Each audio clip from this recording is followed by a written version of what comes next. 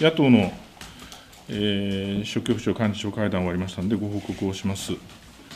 でままずあの、安住、立憲民主党の安住国対委員長から、この間の国会対策委員長での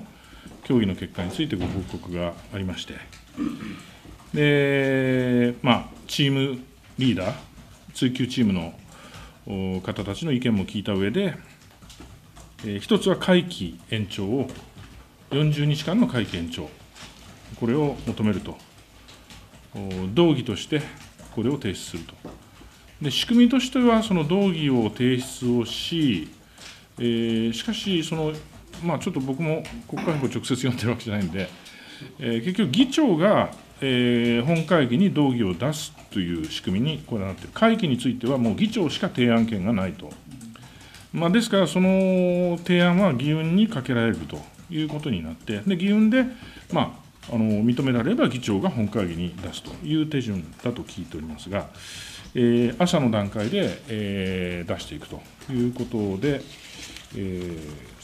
ー、でその後については、えー、それぞれいろいろと意見が出ているので、ご意見を伺いたいという話でありました。で私の方からは、まあ、今国会、もう野党の結束した力で、えーまあ、あの桜を見る会の問題の追及などもですね、野党が本当に力を合わせて、えー、追及本部も立ち上げて、えー、進んできたし、まあ、憲法調査会の,、ね、あの問題についても結束した取り組みができたということは大きな成果だったと思うと。でやっぱり今は我々としては、まあ、会期の延長を求めて、で徹底的にやっぱり予算委員会集中審議を総理の出席を求めていくという姿勢で臨むべきではないか、で国会持ち会期延長を認められなかったとしても、まあ、引き続きですね、徹底した議論を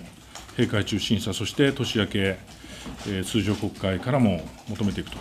もう徹底的にそれを求めていくという対応でいくのがいいのではないかと。で同時に、まあ、野党がこれまで結束して、まあ、ここまでね、あのー、取り組んできたわけですから、何よりも大事なことは、足並みを揃えて野党が結束して臨むことではないかと、まあ、そういう意見を申し上げました。で各党からもそれぞれ、えー、ご意見がありました。でその上で、えー、全体として一致したのは、えー、会期延長を求める40日間の会期延長を求めていくと、そのための動議を提出するということが一致しましたので、そこは確認をすると。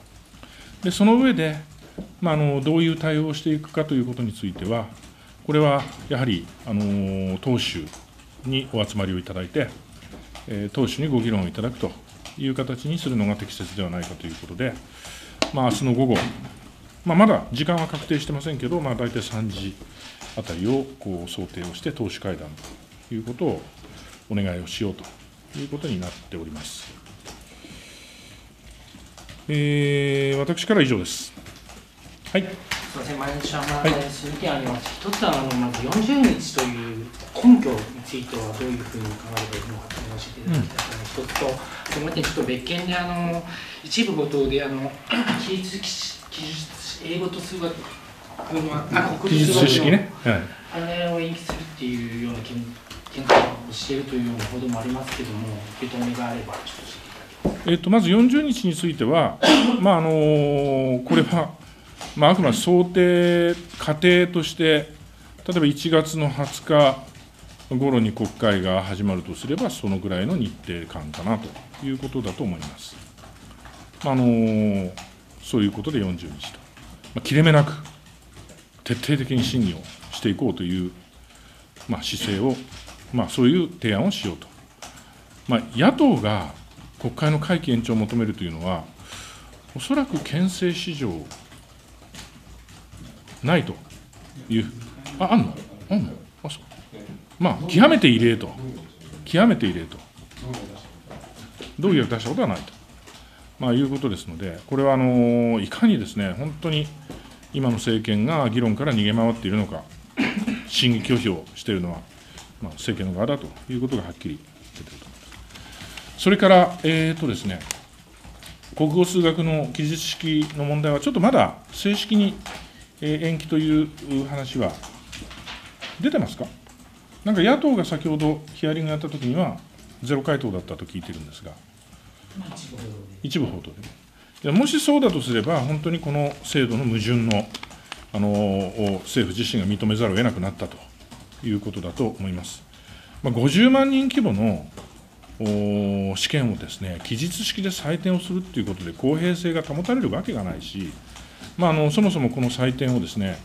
まあ、アルバイトもう当然あり得るというふうに受注した企業の方は参考にして言ってるわけですから、これは本当にあの公平性、公正性が全く担保されない、えー、試験だと思います。我々はもうこれはもう中止、延期ではなくて、もうやめるべきだというふうに申し上げてきましたけれども、まあ、そういう方向にもしなるのだとすれば、これは、まあ、あの多くの高校生、学校の先生方が声を上げ、野党も法案を提出をして、えー、この問題の中止を求めてきた野党の声にこう政府が答えざるを得なくなったということになるのではないかなと思います。もし、えー、中止、あるいは延期ということになるのであればね、やっぱり野党の結束した取り組みが大きな力を発揮した一つの英語民間試験の導入に続きですね、えー、国民が勇気を持って声を上げ、野党が結束して取り組めば政治を変えることができると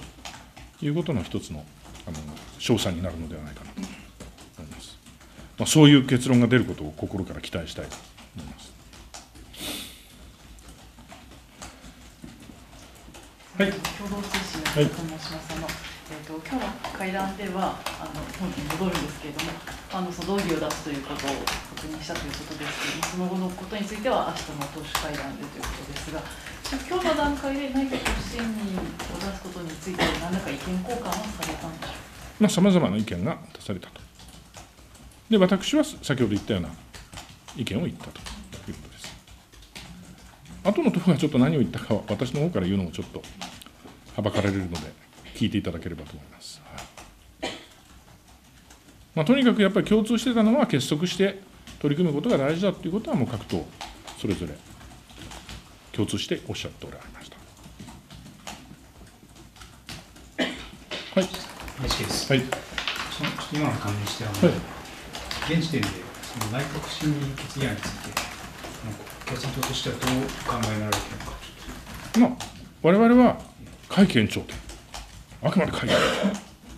長、会期延長で安倍首相が出てくると、説明責任を果たさせるということをあくまでも求めていくということ。まあ、当面当然、あの信任に値しない内閣首相であることは明らかではありますが、まずはやっぱりきちんと国会の場で、この問題を明らかにするというのが必要だという立場です。